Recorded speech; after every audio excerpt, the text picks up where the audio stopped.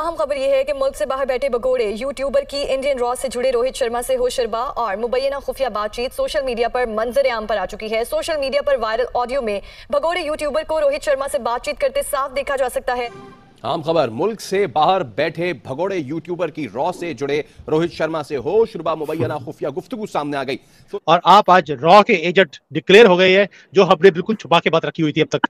आज डिक्लेयर कर दी उन्होंने कि आप रॉ के एजेंट हैं और अजीत दोवाल जी के साथ उन्होंने ये भी लिखा है वहाँ पे कि अजीत दोवाल जी के साथ आपके डायरेक्ट रिलेशनशिप है आप उनकी सीधी बातचीत तो आपकी होती रहती है। तो मुबैना ऑडियो में रोहित शर्मा यूट्यूबर को पाकिस्तान के प्रीमियर इंटेलिजेंस एजेंसी के खिलाफ लंदन में बैठे रॉ के पेडलर से मिलकर को बदनाम करने का कह रहा है। दिखाई गई है आदिल राजा मेजर रिटायर्ड आदिल राजा जो पाकिस्तान से बाहर होते हैं यूके में होते हैं वहाँ बैठ के वो बहुत सारी अपनी रेवल्यूशन करते हैं और उनसे रोहित शर्मा जी की बातचीत दिखाई है और कहा है कि रोहित शर्मा रॉ के हैंडलर हैं। जैन दोस्तों जैसे राम। देखिए, जब पाकिस्तान को कोई भी एक्सपोज कर देता है तो पाकिस्तानी उसको रॉ एजेंट बोलने लग जाते हैं। ऐसे ही पाकिस्तान के ही खुद एक मेजर हैं, जिसने पाकिस्तान को पूरी तरह से एक्सपोज किया तो उसको बोल रहे हैं कि भाई ये भारत के रॉ के साथ मिलकर और एक इंडियन यूट्यूबर है, रोहित शर्मा जी, उनके साथ मिलकर काम कर है। पूरी वीडियो देखिए, पाकिस्तान मीडिया कैसे, यानी कि छोटी सी क्लिप दिखाकर, पूरी वीडियो नहीं दिखाई, छोटी क्लिप दिखाकर भारतीय मीडिया को, भारतीय यूट्यूबर को कैसे बदनाम करने की कोशिश करे। वीडियो में देखिए, उसके बाद पूरी डिटेल में बात करेंगे। और हाँ हाँ बिल्कुल भाई, मैं अपने देश का रॉ एजेंट हूँ।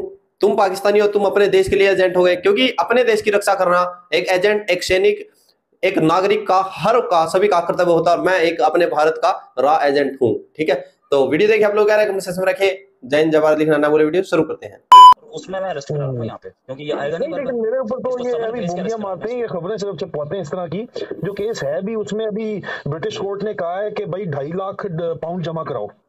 तो ढाई लाख पाउंड जमा कराओ ना पहले तो सिक्योरिटी ऑफ़ कॉस्ट कि तुम तो यहाँ पे तुम तो आईएसआई के हाँ, अच्छा। तो अच्छा एक चीज़ आपको बताऊँ?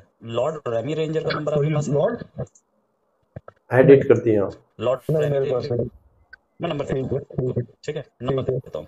आराम से मुझसे बात कर लेना ठीक है? उनसे बोलना कि उनका कोई हम्म। आदमी हो वो मिलके वो जो आईएसआई का जो बंदा है ना उसके खिलाफ केस डलवा दे कि ये इंडिया ये इंडिया के खिलाफ प्रोपोगेंडा करता है। और तो आपको सैल्यूट सर। आप इतने बड़े अजीत दुआ जी के साथ आपकी सीधी बातचीत है। हमें भी पता नहीं था आज सारा डिक्लेयर हो गया। तो मुझे भी गर्व है कि मैं आज ऐसे दोस्त के साथ बैठा हूँ जो पाकिस्तान को हिला के रख दिया उसने आज।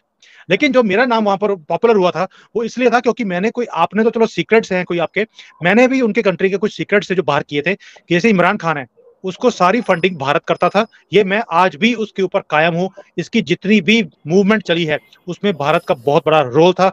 ये पैसे लेकर ये कुछ भी काम आप करवा सकते हैं। जैसे आज की डेट में हम भी देखते हैं कि न्यूज़ क्लिक वाले लोग हमारे देश में पकड़े गए। चाइना से पैसे लेते हुए और भारत के खिलाफ ही वो बोलते थे। वो चीज़ जैसे आज उजागर हुई है तो इमरान खान की उजागर सबसे पहले मैंने करी थी इनके कंट्री के चैनल्स के ऊपर जाकर।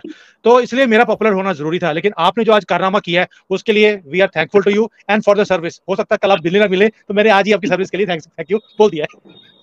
नहीं मैं रॉ का एजेंट अगर हूँ भी तो मैं तो अपने कंट्री के इंटेलिजेंस के एजेंट हूँ ना तो इसमें तो फकर होना चाहिए मुझे है ना?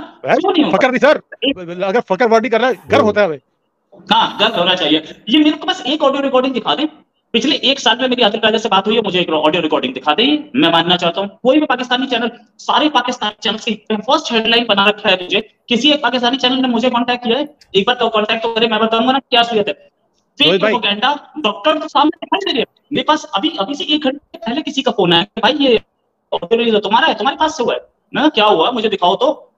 देखा तो उसमें वो डॉक्टर था उसने मुझे भेज दिया। फिर उसके बाद से तीन चार फ़ोन अभी पाकिस्तान से आ चुके ये ये ये जो है ये मुझे एक चीज़ प्रूव करते हैं कि मैं रॉ से रॉ के किसी एजेंट से बातचीत करता हूँ। एक फ़ोन कॉल मुझे दिखा दे। या कि मुझे एक फ़ोन कॉल दिखा दे कि मेरी आदिल राजा से साल में बात हुई है। रोहित भाई आपको प्रूव करने के लिए या उनको प्रूव करने की ज़रूरत क्या है? आपकी ज़रूरत आज की डेट में एक ही है कि उन्होंने आदिल राजा को अंदर करना है और उसे किसी केसेस में फंसाना है। क्यों? क्योंकि वो इमरान खान का एक पालतू आदमी था। वो इमरान खान की फेवर की बात करता था और बाकी सबके अगेंस्ट बोलता था। आज इमरान खान की वहाँ पर कोई वैल्यू नहीं है, उसे इन्होंने टांगना है तो इसको भी टांग दिया। और उसको मोहरा बनाया गया आपको। आपको तो खुशी होनी चाहिए कि भाई आपने जो आई है, उसकी इतनी बड़ी मदद करी है कि जो जो वो एक साल से करने की कोशिश कर रहे हैं, आपके कारण। इमरान खान अब टांगा जाएगा। तो ये आपको खुशी होनी चाहिए। आपको इस बात का दुख क्या है कि भाई मुझे कोई रॉ की मेरी कोई आ, के साथ मैंने बात करी है। आप मुझे प्रूफ दिखाइए या आदिल के साथ कोई बात करिए उसका प्रूफ दिखाइए। आपको प्रूफ मांगने की ज़रूरत नहीं है। You should be happy that because of you आज दुश्मन मुल्क जो है हमारा वो बिज़ी हो गया। एंड आपने वहाँ की लंका जला के रख दी। ये आईएसआई कहीं पे प्रूफ देती है? पूरी रिकॉर्डिंग जारी क्यों नहीं दो दो लाइन एक लाइन कहीं से भी एक लाइन कहीं से भी एक लाइन कहीं से भी एक रिकॉर्डिंग पूरी तो जारी हो सकती थी। ये फेक जो ऑडियोज हैं, मैं मैं चैलेंज करता हूँ। आओ, मेरे इंडिया के किसी भी कोर्ट में आ जाओ, बात कर लेते हैं। मैं वहीं पे आपके खिलाफ लड़ सकता हूँ, केस। ये पूरी रिकॉर्डिंग में मैं कहीं पे भी कोई ऐसी बात नहीं कर रहा हूँ जहाँ पे किसी भी तरीके की आतंकवाद को सपोर्ट हो रहा हो, या किसी भी तरीके की गवर्नमेंट में, या किसी भी एंटी एंटी एस्टैब्लिशमेंट या एंटी गवर्नमेंट एक्टिविटी को सपोर्ट करता हूँ नहीं सुन रहा हूँ। लेकिन इन्होंने उसको डॉक्टर करके दिया। ये ये आज से काम नहीं हो रहा है, ये कई साल से हो रहा है। पाकिस्तान में कई साल से काम हो रहा है। आज टारगेट पे मैं था। खैर anyways I am very happy to see कि पाकिस्तान किस लेवल तक गिर सकता है। इससे पहले टिकटॉकर को भी इन्होंने बताया था कि उसने उसने करवाया ये था। रोहित भाई पहली बात देखिए जब से इमरान खान अंदर हुआ है जेल हुई है उसको आईएसआई के पास कोई काम नहीं है। आर्मी जो है उनकी मटर छिल रही है आपको मालूम ही है है ना? गाजर छिल रही है क्योंकि उनके पास सारी अपनी फैक्ट्रीज हैं। आईएसआई के पास कोई काम बचा नहीं। अब वो बच, बेचारे अकेले बैठे हुए थे पिछले पिछले जितने भी अपने कॉन्वर्सेशन आपने करी हैं वो सारी इकट्ठी करी उसको काटा पीटा किया और एक एक कॉन्वर्सेशन क्रिएट करी गई जो उनके फ़ायदे की बात है। I am still saying you should be happy कि आप आज आईएसआई जो है उसके फ़ायदे के एक आदमी बन निकले हैं। और दूसरा अब मुझे लगता है कि अजीत डोवाल जी खुद आपको कॉल करने वाले हैं कि भाई अब तक तू कहाँ बैठा हुआ था? हम हमें तेरी बहुत सख्त ज़रूरत है। अजीत डोवाल साहब तो इतने बड़े मैं उनका फ़ैन हूँ। मैं उस लेवल पे कभी जा ही नहीं सकता। मैं उनका बड़ा क्यों नहीं? लेकिन आज आईएसआई आज आईएसआई ने आपका काम बड़ा साथ कर दिया। और अब अजीत डोवाल जी आपको खुद कॉल करने वाले हैं और जब वो आपको कॉल करे प्लीज़ उनको मेरा नंबर भी दे देना। राइट अभी दे दूँगा। टेंशन नहीं है। ये भी ये भी इन्होंने बहुत सही अच्छा ये जो पाकिस्तान पूरा गेम करता है ना, पाकिस्तानी आईएसआई ये बदनाम कर रहे हैं आदिल राजा को। मेरा आदिल राजा से कोई रिश्ता नहीं मैं तो न्यूज़ पे बात करता वो अपने न्यूज़ चैनल चलाते थे। और वो जो न्यूज़ देते थे, उस न्यूज़ पे बात होती थी। जो एयर हो गई है इन्फॉर्मेशन वो बात होती थी। ये आदिल राजा को बदनाम करने के चक्कर में इन्होंने एक और का भी निकाला है आदित्य नाम का एक जर्नलिस्ट है, उसका भी निकाला है, और मेरा भी निकाला है। मेरा सबसे ज़्यादा डॉक्टर करके निकाला गया मैं कहीं पर बोल रहा हूँ कि मैं एक आदमी का नंबर दे देता हूँ, उसको जोड़ा इससे है।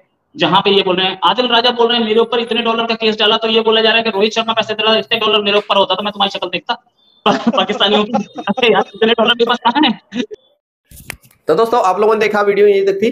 देखिए, जो आदिल राजा है, वो पाकिस्तान की आर्मी में है, जो मेजर पद पर काम कर चुका अगर देखिए, वो अच्छे तरीके से पैसे खाता, अच्छी तरीके से वही वहाँ पर लूट पूट कर सब कुछ चला जाता। देखिए अभी ये पाकिस्तान में नहीं है।